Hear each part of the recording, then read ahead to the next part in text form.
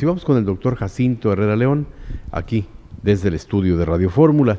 Doctor, ¿cómo estás? Bienvenido. ¿Qué pasó, José Luis? Pues, Adelante. Iniciando la semana, como siempre, aquí en este, este segmento de salud. Y hoy quisiera, eh, amable auditorio que estás en Gasita Comiendo y a todo el estudio, quisiera nada más eh, hacer unas pequeñas pinceladas. Eh, ¿Sobre qué? Sobre la especialidad de reumatología a la cual pues me siento honrado pertenecer desde hace 31 años. Y quiero decirles por qué.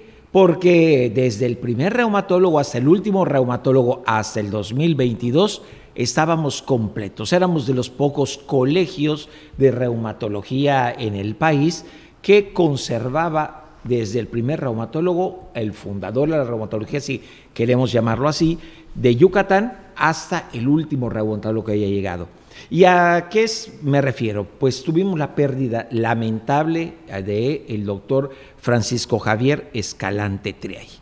Un personaje en la reumatología, el primer reumatólogo que llega a finales de 1960. Y tenía una particularidad eh, él daba clases en la escuela de medicina, conferencista, a través de los años, un excelente reumatólogo, pero sobre todo, José Luis, sobre todo auditorio, el don de gentes. A pesar de todo el conocimiento y haber sido prácticamente el pionero, el que pone los cimientos de la reumatología de la correspondencia península, prácticamente este hombre, este hombre deja y se desliga hace algunos días. Nacido en 1936, el doctor Escalante a los 85 años de edad deja de existir y por eso quería yo hablar como a manera de pinceladas de alguien que seguramente conoció a los fundadores de la reumatología eh, en aquella época. La reumatología se funda en 1960 cuando se hace el Colegio Mexicano de Reumatología, gracias a los esfuerzos de, eh, Robles Gil y varios personajes que estuvieron luchando. ¿Por qué? Porque la reumatología creciera. La reumatología, quiero decirles que nace en el Instituto Nacional de Cardiología. ¿Y por qué razón?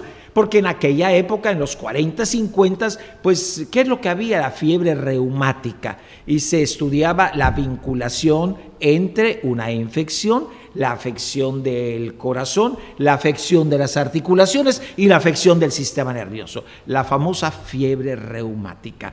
Allá nace y da un paso prácticamente gigante la medicina, resultando entonces en los primeros reumatólogos y la fundación en los años 60. Eh, Luego, en el 75, el Consejo Mexicano de Reumatología es fundado, pero para que pueda avalar el conocimiento de cada uno de los reumatólogos y pudiera certificar que lo que estaban aprendiendo y lo que se estaba de alguna manera enseñando en las instituciones verdaderamente llenaba, llenaba la currícula, llenaba las necesidades que el mexicano, que el mexicano necesita cuando tiene una enfermedad reumática.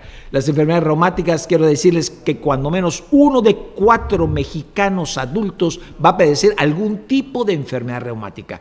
Y acuérdense que puede afectar el riñón, puede afectar el corazón, puede afectar el sistema nervioso, las articulaciones, la piel con la esclerodermia, los músculos con la polidermatomiositis. Y así podríamos estar hablando largamente de estas enfermedades que fueron evolucionando paulatinamente desde ECATL que fue prácticamente a quien atribuían los náhuatl, cuál era el, el que el viento, el dios del viento, que era el causante de las enfermedades reumáticas, hasta la evolución de nuestros tiempos, pasando obviamente pues eh, algunos pasajes, ¿no? También de la época prehispánica, donde se hablaba sobre algunos ataques que le llamaban envaramientos del cuerpo humano cuando había un cambio de clima. Así que este ha sido el transitar de la reumatología y al día de hoy, al día de hoy tenemos eh, aproximadamente eh, 800 reumatólogos de adultos, más otro centenar de reumatólogos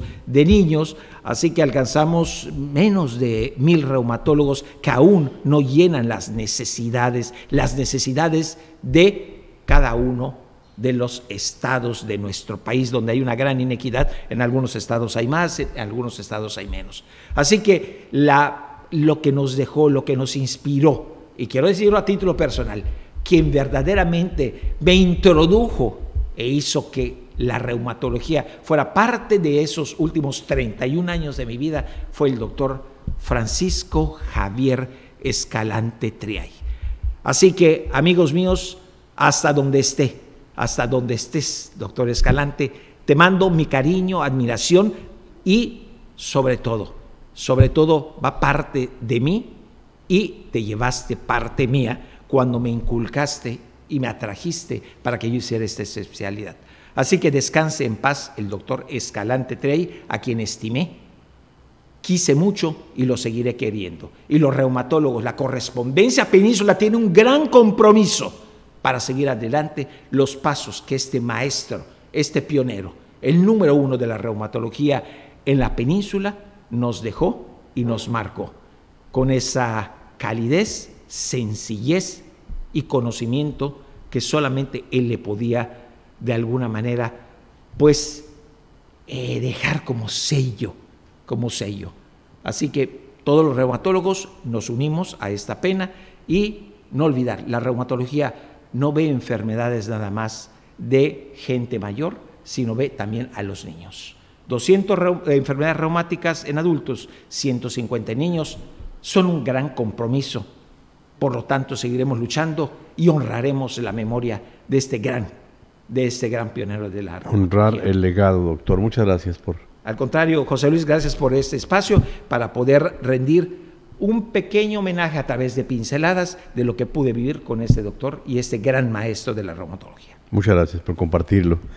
Es el doctor Jacinto Herrera León, los lunes empezando la semana aquí en Radio Fórmula.